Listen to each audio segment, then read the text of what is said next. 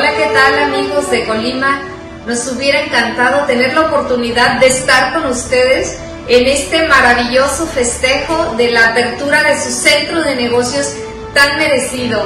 Recuerdo la primera vez, les estoy diciendo y me pongo muy chinita de mis brazos y mi piel, de recordar la primera vez, quiero que sepan que es el primer lugar, la primera ruta que tomamos cuando inició este proyecto maravilloso. Todo el primer año yo hacía las veces de un afiliado e iba y me sentaba con toda la ilusión y con toda la alegría en ese lugar maravilloso. Indudablemente también a degustar de tan ricas cosas que ustedes tienen que alegran el corazón. Comida maravillosa, bebidas impresionantemente creativas y en especial lo más rico es contar con su amistad, con su alegría, con esa transparencia.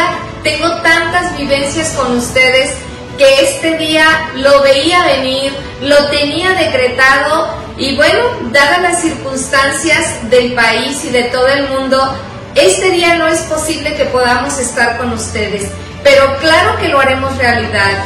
Una vez que el país esté estable y armonizado en todos estos retos de salud que tenemos, estaremos ahí presentes con ustedes para poder hacer realidad este sueño tan maravilloso al lado de ustedes, estos seres tan comprometidos que han demostrado a través de sus frutos toda la grandeza que habita en su ser. Les mandamos un fuerte abrazo, reiteramos nuestras felicitaciones por su nuevo centro de negocios.